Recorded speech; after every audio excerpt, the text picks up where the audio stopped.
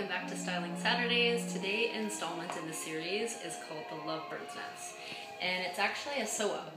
And uh, it is quite easy to do, seems very complicated, but is not actually. This is uh, a thread of linen thread onto a knitting needle, uh, or Kevin Murphy has this sewy kit that you may use, and there's three different bits of uh, thread that you can reuse and reuse if you're actually pretty, pretty good about it. You should be able to just pull out your up style very easily and, and reuse the thread again. So it's one bit of thread, about an arm's length or a little tiny bit more, and attached to a rather large um, you could either use a knitting needle that would be blunt on the ends, so there's no daggering, no death, no death by hairdresser, and uh, or you could use like this comes in the Kevin Murphy kit, which is really handy.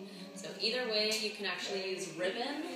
So you can actually put a contrast of thread in through your design, or you can do something that matches your hair color somewhat.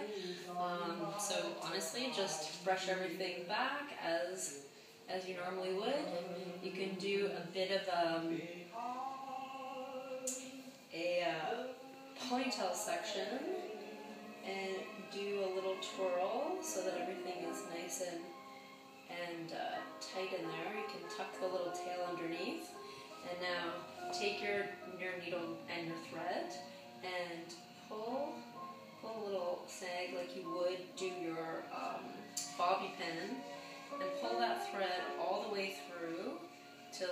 just kind of tucking out.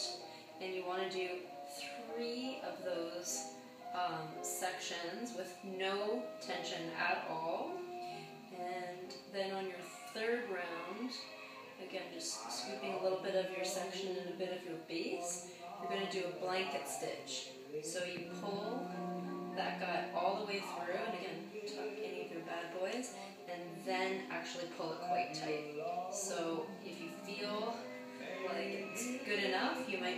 but just until you run out of thread, you can continue to do some sections until you feel as secure as can be. And you can see it's lasting. It's actually doing a pretty good job of holding itself up.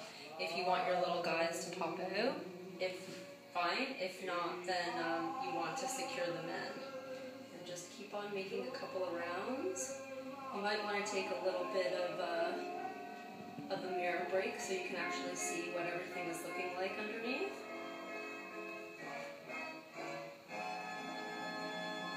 That, and then you cut your thread at the end, right there. And the only thing I'll say is try not to cut your hair. And there's your lovebird's nest.